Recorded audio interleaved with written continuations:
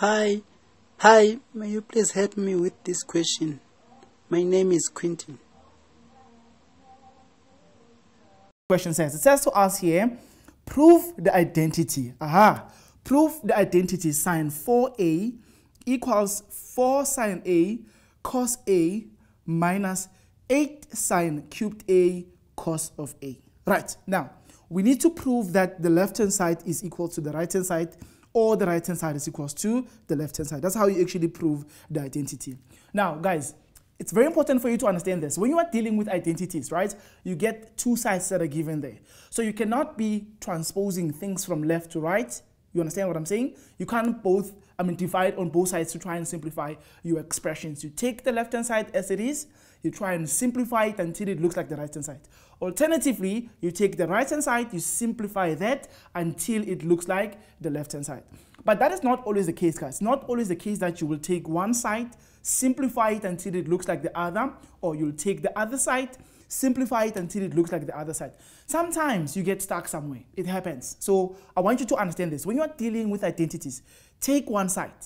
Simplify, simplify. If you get stuck, stop there. Go fetch the other side. Go fetch the right hand side. Simplify it until it looks like something else. If these two parts that you have at the end look the same, you have also proven that the identity is true. So please keep that in mind. But generally speaking, we need to always start with the side that has got information that we can do something about. Excellent stuff. Right. Now, let's go back to the question. So I'm going to start with the left-hand side. Right. I'm going to take what is on the left-hand side. I'm going to say, okay, the left-hand side in this particular identity is given to us by the sine of 4a. Right. This is what we have. Now, what are the tools of trig that we have that we can use, guys? The tools. This is the toolbox. I'm going to put the tools here of trig that we can actually work with. First of all, in grade 11, you were taught the squares identity, right? Sine squared uh, something plus cos uh, squared something can be written as 1. The other one you were taught is that sine of something divided by the cos of the same angle can be expressed as the tangent of that very same angle. In addition to that, there's other things that you were told in grade 12 particularly. And these are your double angles and your compound angles. So those are going to be very crucial in this question because already I see a 4 there. In the back of my mind, I'm thinking 4 is double of something. So I'm going to think about it in the context of double angle. So you must know how to expand sine 2a, right? Which is simply going to become um, 2 sine of a, right, multiplied by the cosine of a. In addition, there's also the double angle of cos 2a, which has got three versions. There are three ways we can actually expand the double angle of cosine. So we have to know all these expansions and decide which one do we choose based on the question that you are dealing with. So now I see that there's actually a sine 4a on the left-hand side. I'm going to say, okay, cool. This is as good as the sine of 2 times 2a. Right, this is where I want to start my argument as I'm trying to simplify this very awesome question that you guys sent to us. Now, if I simplify further, I'm going to use the double angle, the double angle identity of uh, sine. There it is. Sine 2a can be written as 2 sine a cos of a. But my a in this, in this case is actually 2 times of a. So it will simply be the left-hand side equals 2 sine of this that you have in brackets, which is 2a, multiplied by the cos of what you have in brackets, which is also 2a. Right, so that's actually what I have. Once more, there's another double angle, double angle of 2a. I'm going to expand it further. Uh, let's see what will happen. I'm going to have 2 times. Now I'm going to expand this, this one, this one that you're currently looking at now. It's also going to be 2 sine of a multiplied by the cosine of a, but we still have our cos of 2a lying next to our y expression so far.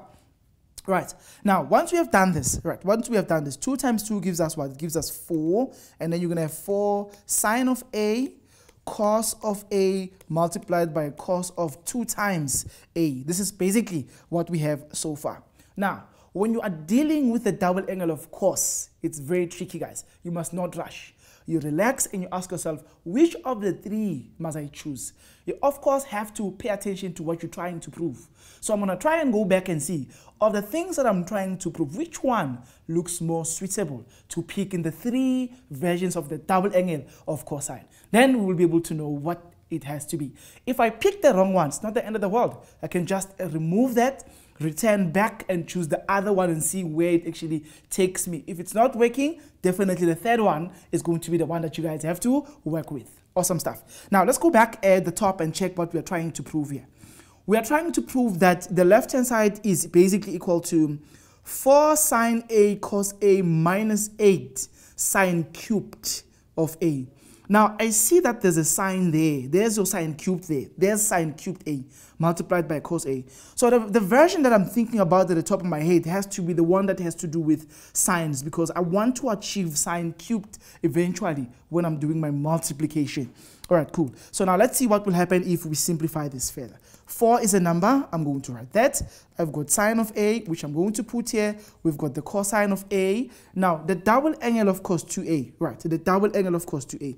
There are three versions. I'm going to choose the one that says 1 minus 2 sine squared A, which is the same as the double angle of sine 2A.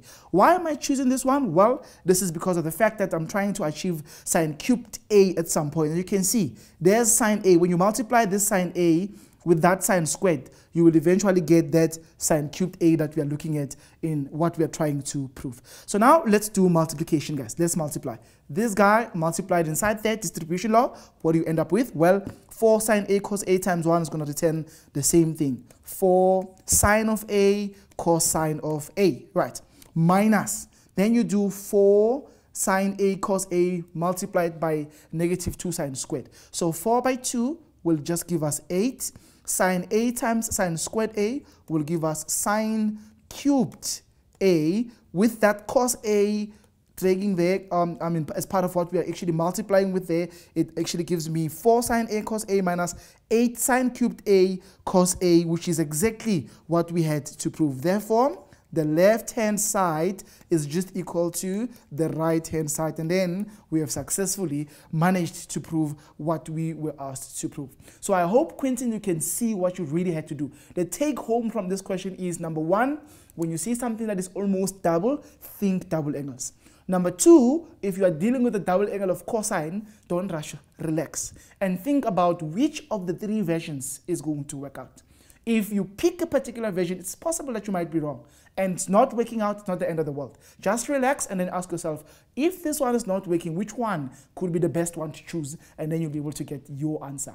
Thank you very much for sending through that question, guys. Remember, you can also send us questions. We want you to send questions so that we can help you. This is Tenfold Live, your favorite content coverage show where we are giving you nothing but quality content. So do make sure you watch and also send questions so that we can help you. We're still coming back with a lot of very exciting content, guys. We are nailing trigonometry today. We want you to understand what you have to do when you are dealing with uh, trigonometry. So make sure you're watching. If people are not watching, go to your socials. Let them know that we are up and running. They should also join in.